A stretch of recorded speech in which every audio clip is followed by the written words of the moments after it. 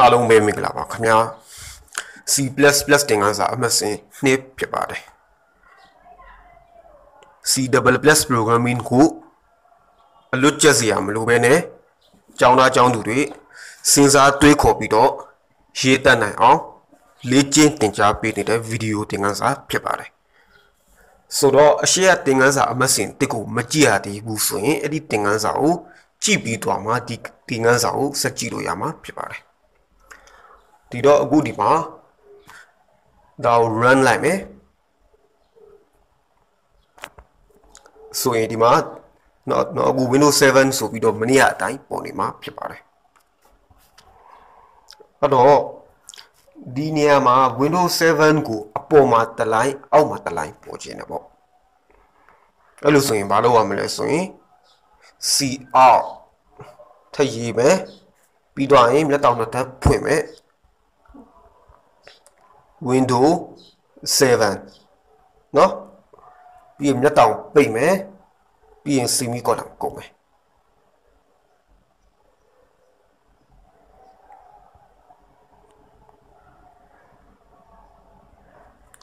ပြီးရင်ဒါကို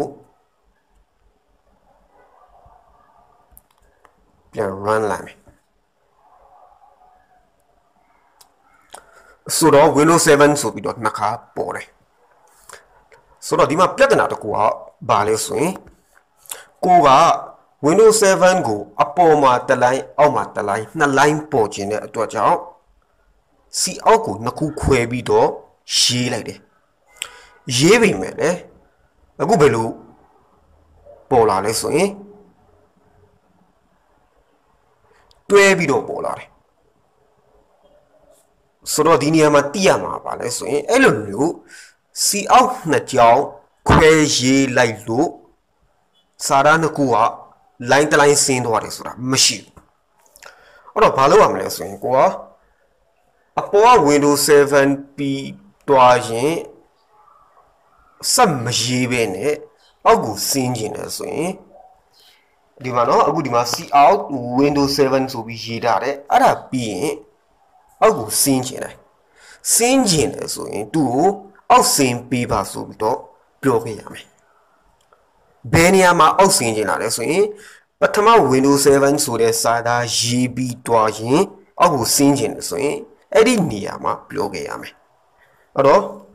ဒီနေရာမှာပြောရမယ်အောက်ကိုဆင်းပေးပါဟုတ်လားအဲ့လိုပုံစံမျိုးနဲ့ပြောပြရမယ်အဲ့တော့အခုကသူ့အောက်ကိုဆင်းပေးပါဆိုပြီးတော့ဘယ်လိုပြောမလဲဆိုရင်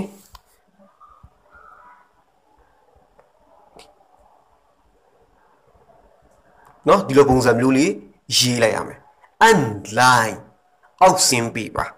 unline line ဆုံးသွားပြီဆိုပြီးတော့ comment လှမ်းပေးလိုက်ရမယ်နော်ဟုတ်ပြီနော်အဲ့တော့ဗာလဲအစပြန်ကြည့်မယ် c out windows 7ပြီးရင်အနောက်ကနေဒီကောင်နှစ်ခုဖွင့်ပြီးတော့ဆက်ရေးရမယ် unline ဆိုပြီးတော့ဒီမှာ line ဆုံးသွားပြီဆက်ရေးလို့မရတော့ဘူးဆိုပြီးတော့ပြောလိုက်တာ ਨੇ အတူတူပဲ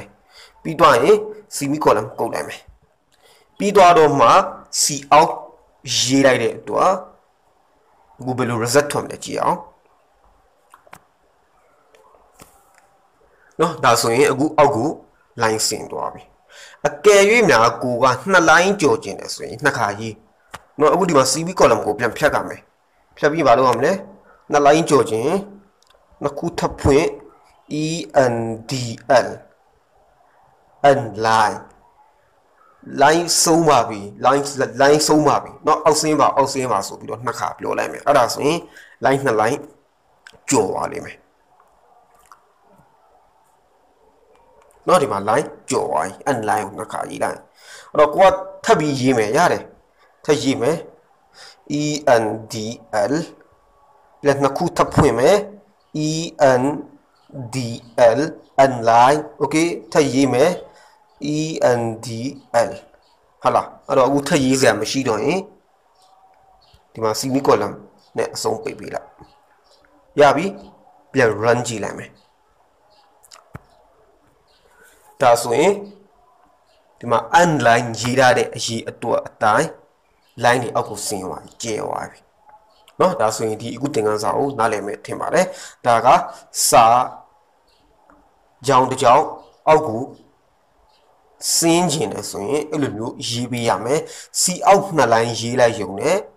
လိုင်းနှစ်လိုင်းစင်းသွားမှာမဟုတ်ဘူးဆိုတာကိုပြောချင်တဲ့သင်ခန်းစာဖြစ်ပါတယ်